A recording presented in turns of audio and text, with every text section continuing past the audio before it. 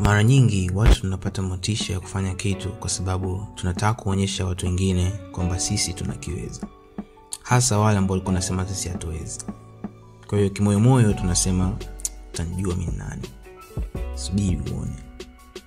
Lakini ni vizuri zaidi kama mtu ukifikiria kufanya kitu kwa sababu unakipenda, unataka kusaidia watu fulani au unataka kusuluhisha kitu fulani.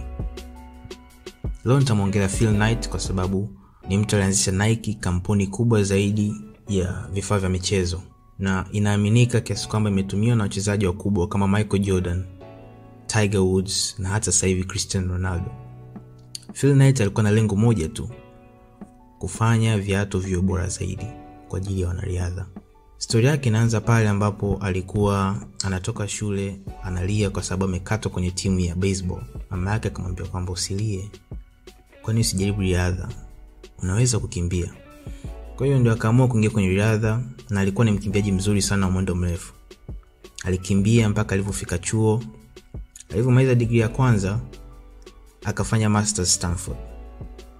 Stanford alifanya research kuona jinsi gani anavyoweza kuleta viatu kutoka Japan, kwa sababu alikuwa ashaona kwamba Japan wametengeneza kamera nzuri na hivyo wana uwezo wa kutengeneza hata viatu vizuri vyenye ubora zaidi.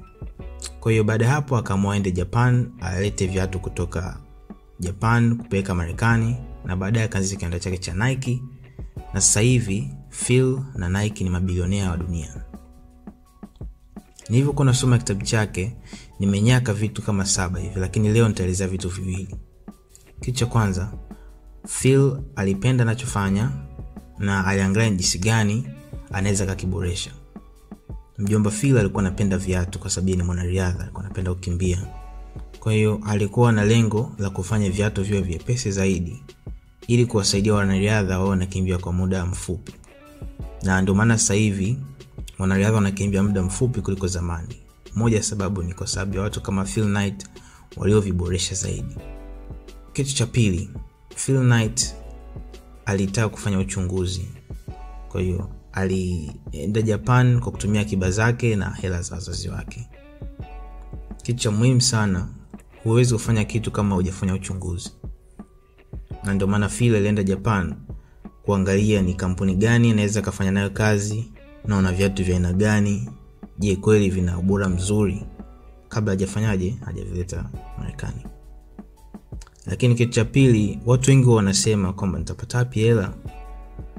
Sehemu ya kwanza wewe kupata hela ni akiba zako. Kama una akiba, basi anza kuweka akiba. Lakini sehemu ya pili, ongea na ndugu zako, wazazi wako na marafiki zako, waeleze unachotaka kufanya na madhumuni yake. Kama wakipenda na wakielewa, angalau hata baadhi yao watakusaidia. Kwa leo nitaishia hapo. Ili usipite na part 2, naomba subscribe, bonyeza kengele. Asante.